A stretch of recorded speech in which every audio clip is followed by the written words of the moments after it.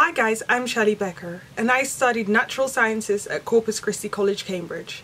Welcome to Simply Cambridge where I'll be answering the smaller, simpler questions all about the University of Cambridge. You can expect a new question every Sunday, Wednesday and Friday. Follow me on Instagram and Snapchat to keep up with me and keep watching this video to keep up with Cambridge.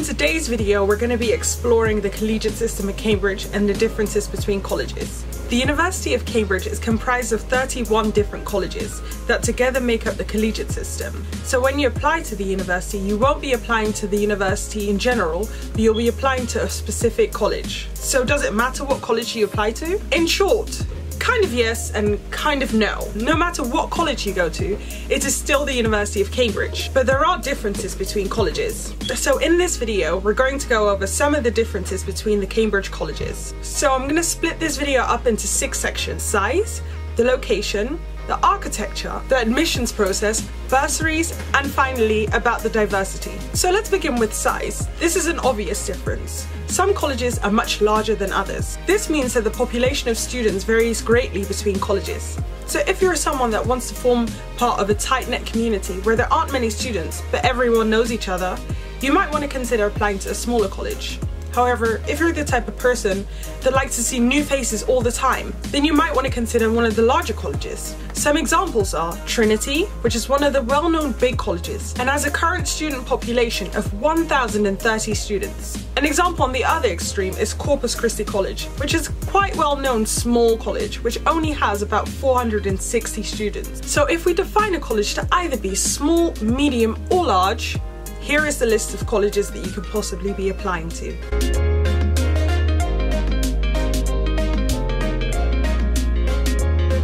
Second difference we're going to be talking about is the location of colleges.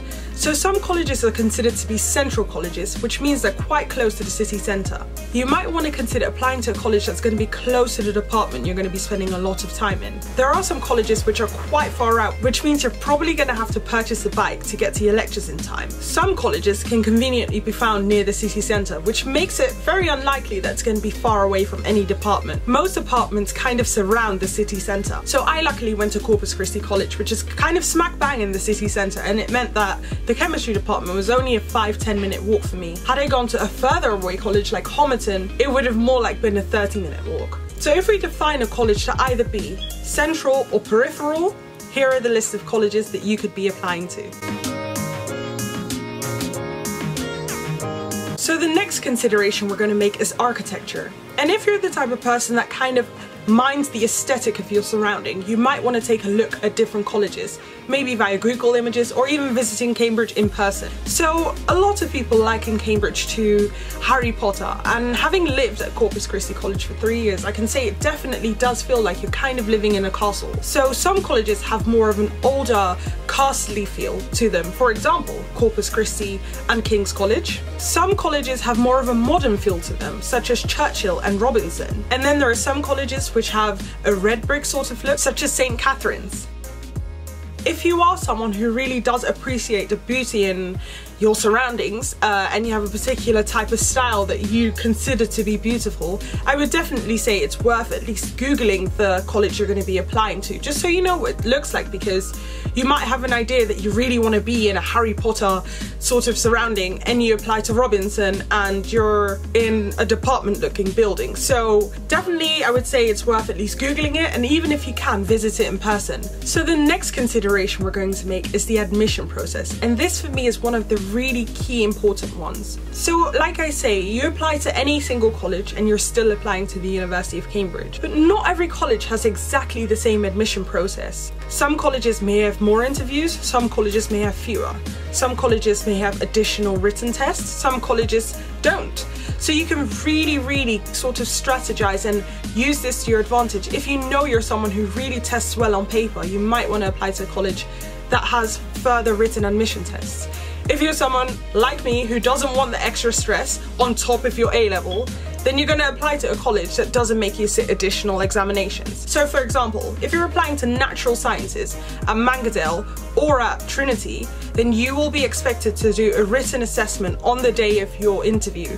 So that's another test to worry about. That's something that I wouldn't be interested in, and thus I wouldn't apply to a place like Trinity or Magdalene. So that's in comparison to applying to a place like Corpus or St. Catharine's, where you wouldn't have to sit that same entrance exam even though you're applying for the same course at the same university. So I definitely feel this is something to really pay attention to and do some more research on. More information about what each specific admission process is per college can be found on the college's website. So I'm to link a website down below which has links to different college websites. So I would really look through the how to apply section, which is usually where they kind of divulge their admission process. So for example, I'm gonna show you what it looks like for Corpus Christi College if you apply to different courses.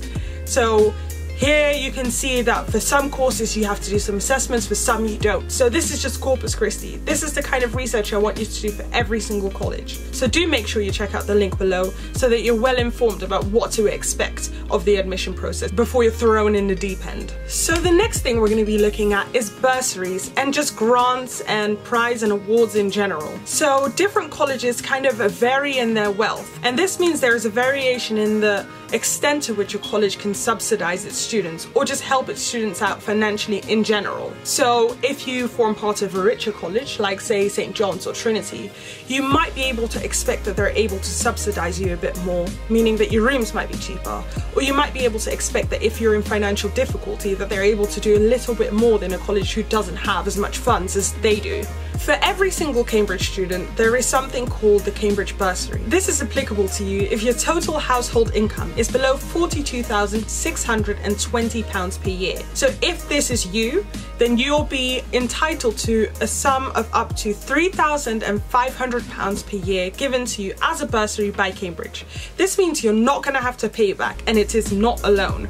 This is just to kind of help you out because Cambridge don't want you to be put off the application simply because you feel like you might not be able to afford it. In addition to this is where the differences come in. So this is where it varies from college to college. So every college has its sort of own pricing system, award system and grant system.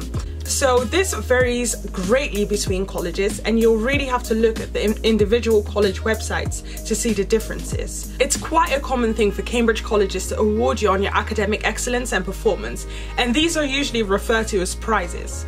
The value of the prizes kind of again correlates well with the wealth of a college. This whole concept extends to the grants you may receive, but it's kind of hard to summarize that all onto one page. So what you're really gonna have to do is if you have a college that you're interested in, you're gonna have to visit that college specific website via the link down below and look at what kind of grants scholarships, awards, prizes are available. So the last difference that we're going to touch on is diversity. Colleges can vary greatly in diversity racial diversity, gender diversity, age, and so on and so forth. So if you're looking to form part of a very specific mix, for example, you want to be amongst a very racially diverse college, I would definitely encourage you to take your time to do some more research and to make sure that this is the place you do want to live for three years because it is quite a big commitment and you will be spending quite a lot of time. Some colleges are mature colleges and mature colleges are defined as colleges which admit students who at the time of admission are at the age of 21 or over. So if you are at the age of 21 and you want to be part of a college which doesn't really have teenagers in it because you just feel like you want to be in a more mature surrounding, then definitely consider mature colleges. Some colleges are women's only. That's kind of a self-defined concept. So if you want to be part of a college where you're only surrounded by women, which has its advantages, for example, from speaking through friends, I found that uh, people at women's only colleges kind of liked the concept of not having to maintain any sort of image and kind of feeling free in who they were, being able to walk around in their pajamas and so on. If that's the kind of vibe that you're going for, then there are women colleges available. If we think about racial diversity for a second, it may be the case that some colleges are more racially diverse than others. This one's a bit tricky because it's hard to get my hands on the statistics per college, on the racial demographics per college. I can get that as a whole for Cambridge, but it's quite hard to find the breakdown for every individual college. But if we think for a moment and we look at the breakdown of different ethnicities that have applied and have been admitted to Cambridge in the year of 2014, which is when I joined the University of Cambridge, we can see that there were only a total of 35 black people that were admitted in the year that I was. If we think about averages for a second, that average is about one black person per college. Thinking about the fact that I know for a fact that there was more than one black person at certain colleges, it meant that there are some colleges at Cambridge in the year of 2014 which had zero black people. So I can definitely say without even necessarily having a breakdown per college that some colleges must then for a fact be more racially diverse than others. You might want to somehow research it. I don't know what you could necessarily do because I personally couldn't find any breakdown of statistics, but perhaps you'd want to visit Cambridge, like I said, in person, which I think is the most sensible option or route to take. In my year group at Corpus Christi College, I think there were two people who were black and one person who was of mixed race. And so if someone, a prospective student, walked into Corpus, they would see those students, which might not sound like a lot, but then they might walk into another college which has none at all and that might encourage them to apply to Corpus. So that's what I mean by really consider it being an option that you come and visit Cambridge and you kind of gather a sense of the colleges yourself. So I hope that was really useful for you guys. Thank you so much for watching. Make sure to subscribe and make sure to turn on your notifications and I will see you on Sunday. Bye!